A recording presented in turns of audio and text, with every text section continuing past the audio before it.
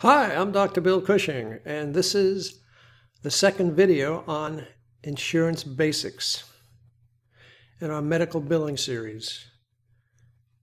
Another term that you will frequently hear in healthcare is the term indemnity plans.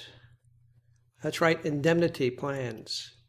This simply means that an insurer will pay for covered medical service incurred by a policyholder the policyholder can usually see any physician he or she wishes to see. The insurer pays the usual fees the physicians charge for the provided services, usually without any significant discounts being given to the insurance companies. Therefore, it is also called fee for service. This is another term you will frequently hear. Under fee for service indemnity plans, healthcare costs have been difficult to control. So, alternatives such as managed care organizations, preferred provider organizations, have been instituted by healthcare insurers.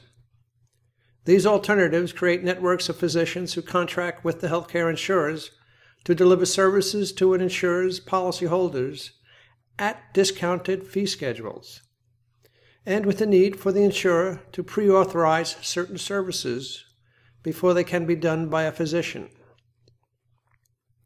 If a pre authorization is needed and not obtained, the insurer will not pay for the service.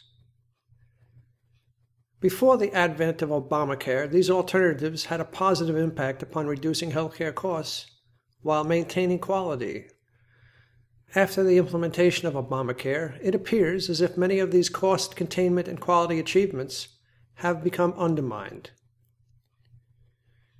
Indemnity plans have specific requirements that must be met before an insurer will pay for any covered healthcare services. One, the services charged for must be medically necessary. Two, all policy premium payments must be current. Three, any deductible amount tied to the policy must have been reached by the policyholder.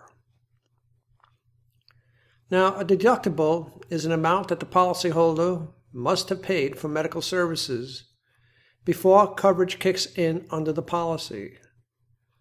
Some deductibles can be in the thousands of dollars. Four is coinsurance. Coinsurance will limit what amount the insurer will pay. Coinsurance is the percentage of each claim that the policyholder must pay. A coinsurance rate of 80 20 means that the policyholder must pay 20% of the costs of the charged medical services. The insurer is responsible for paying the remaining 80%.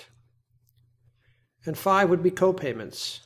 Now, copayments are an additional cost to the policyholder this is a fixed fee that must be paid to the medical provider at the time of a visit. Co-payments were initiated as a way to encourage patients to use less medical services, a way to control costs.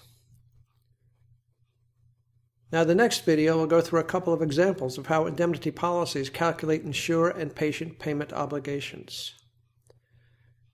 Well, I hope these short videos help you. Have a good day.